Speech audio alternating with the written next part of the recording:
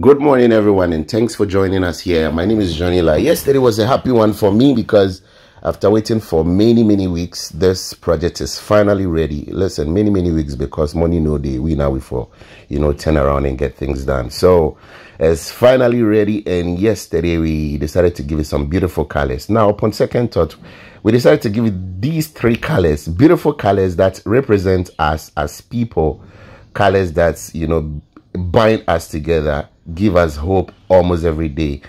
I did this together with my my friend. Everybody knows Swiss as my friend, but this friend of mine is the low key type. But we grind a lot. He used to be my student somewhere, and we've decided to become friends eventually. So we've been grinding for a while now.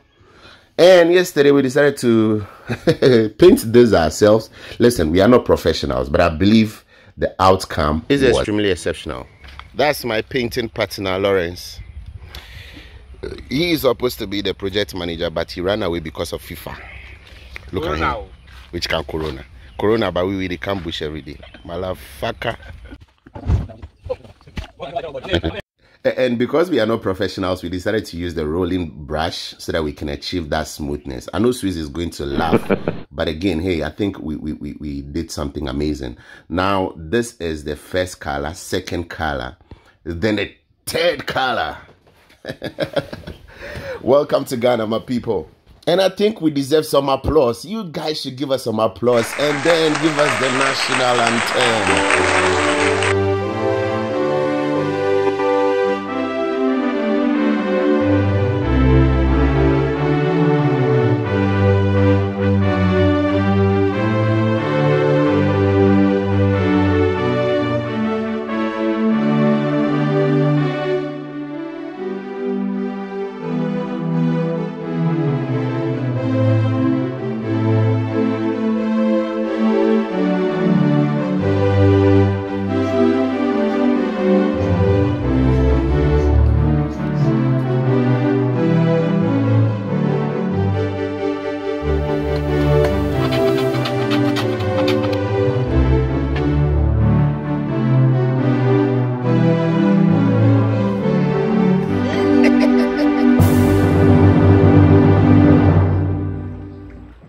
That place hard.